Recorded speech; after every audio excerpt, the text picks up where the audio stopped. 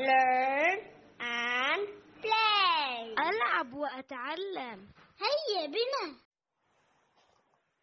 Und gedenke deines Herrn in deiner Seele in Unterwürfigkeit, flehend und in Furcht mit leiser Stimme am Morgen und am Abend, und gehöre nicht zu den Unachtsamen.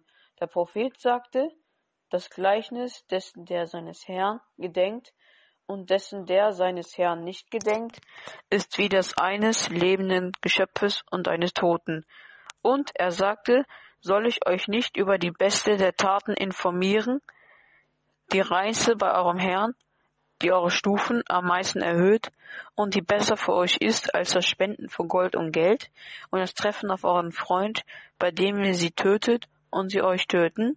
Sie sagten, doch. Er sagte, das Gedenken Allahs des Erhabenen. Und er sagte, Allah sagt, ich bin mit dem Gedanken meines Dieners an mich, und ich bin mit ihm, wenn er meiner gedenkt.